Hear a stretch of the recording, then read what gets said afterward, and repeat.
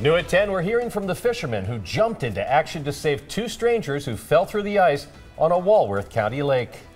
It happened Tuesday on Delavan Lake. Police say the rescue could have been a recovery if it weren't for their quick thinking. Kareen Zell talked exclusively with the heroes who say it's a day they'll never forget, huh, Kareen?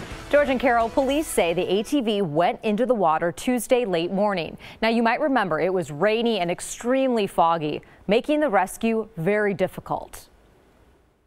We were fishing right over on that point, right in directly in the sun there, and we could hear the screams for help this way. Before the screams, Jim Wiesa and Andy Bach heard a conversation from the ATV. The guy said something about how he didn't want to go any farther. He was worried about falling in. The two were ice fishing about a quarter of a mile away, but say it sounded like it happened next to them. As soon as we heard that four wheeler go through the ice and that we both looked at each other and we said that was a bad sound. Andy gave the 911 operator specific directions. They were coming right, right up here. I went as fast as my body would let me, I can say that. Jim found rope and buckets, one still left in the water, and listened since he couldn't see through the fog. Every time they would scream, I'd run a little farther. Yeah, I was a lot of anxiety. I was, I, I was walking, pacing over the place. They saw one man on his back and made eye contact with the other about 30 yards away. He could see me first. He said, I see you, buddy, I see you. Jim said risking his life was the only option. I couldn't get the bucket all the way to him because I was already starting to sink. Rescue workers arrived minutes later and pulled both men out alive. That would have been horrible if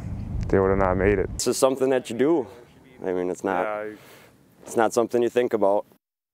Police, police also commend the officers and firefighters who helped save the lives of the 31 and 66 year olds. George and Carol? Really amazing. Thank you very much, Kareen.